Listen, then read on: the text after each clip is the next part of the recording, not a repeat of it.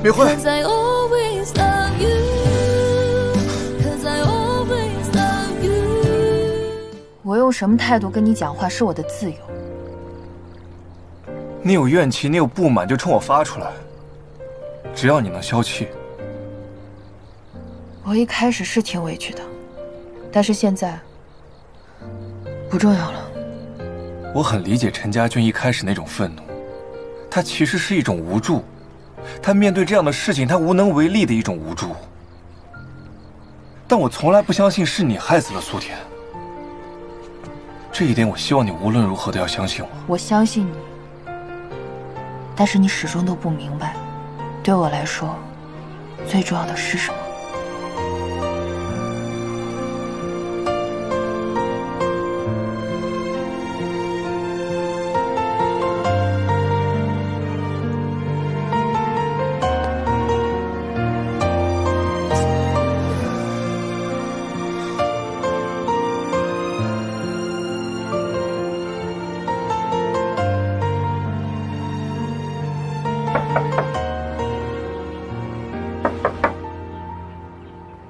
敏慧，我买了早餐。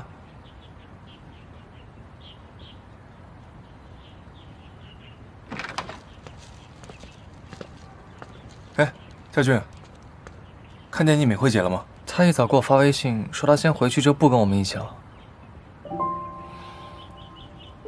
她应该还在生我的气。对不起，星七哥，如果不是因为我，不关你的事。等我一下，我带你去个地方。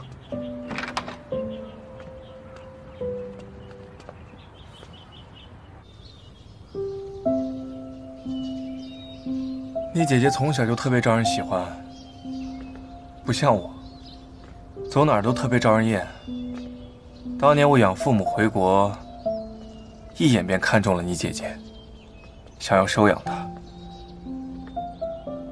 可是她说什么都不肯，还哭着和他们说我有心脏病。如果他们不收养我的话，我可能就活不久了。我一直都很不安，总觉得是自己偷了他的人生。可是他告诉我，他不想出国，因为等他长大了，他要找他的弟弟。那个时候我就暗下决心，如果我还能活着再见到他，我一定要帮他找到弟弟。星七哥，如果当时你没有把敏慧错认成我姐，你还会爱上他吗？我会，因为我爱上的不是苏田这个名字，而是敏慧这个活生生的人。很可惜，这个问题我也是最近才想明白。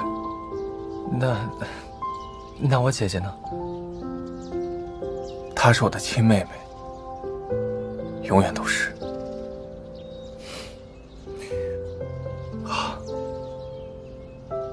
你是新奇吧？哎呦，这么多年我们只是视频，今天终于见到真人了。好多年没见了，是的，是的，从五年前开始啊，你就每年给我们福利院捐款，还资助了那么多孩子的学业。我一直啊都想让你回来看看，今天呢总算是回来了。这位就是福利院的院长李院长。李院长您好，你好。李院长，他就是苏田的弟弟。哎呦，这么多年过去了，都长这么大了，这孩子。今天带他过来呢，就是想请您给他讲讲苏田小时候的事情。哦，没问题呀。哦，巧了，今天一大早啊，也有个姑娘，也让我讲讲苏田小时候的事。是不是叫敏慧？哎，对对对，就是这个名字。李院长，你们聊，我有点事啊。哎，这孩子小时候他挺稳重的。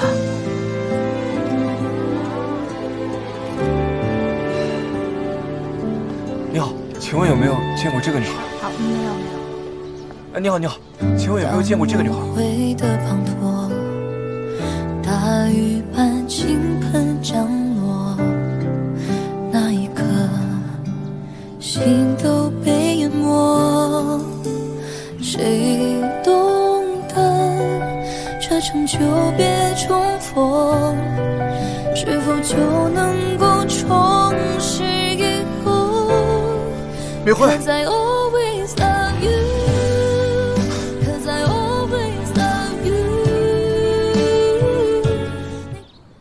你那天问我的问题，我现在终于可以回答你了。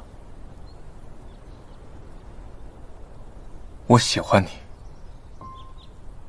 我希望我未来的日子每一天都有你，还有我们的全全，好吗？欣欣，你忘了吗？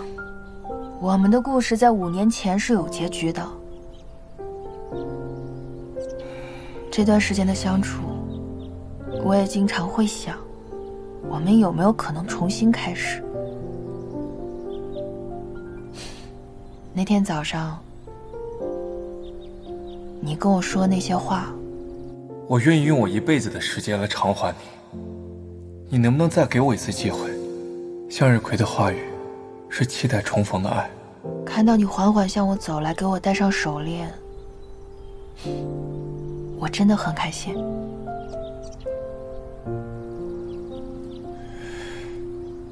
我知道，这一次陈家俊的事情，你气我，你气我没有第一时间站在你身边，你气我不信任你。可这些我都已经向你解释过了。我知道。我冷静下来之后，我能理解你的立场，我也接受你的道歉，那是为什么？因为我害怕，我害怕我们再一次开始之后会继续重蹈覆辙，我也害怕我们会一直活在苏甜的阴影里。我和他之间没有任何男女之间的感情。这个我相信，但是欣欣，你可以保证，这是你最后一次因为这件事情归咎于我吗？我只是没有办法接受这件事情，它永远像一个不定时的炸弹一样埋在我们的心里。我也不想我们一次又一次将五年前的伤口重新撕开一遍，我真的承受不来。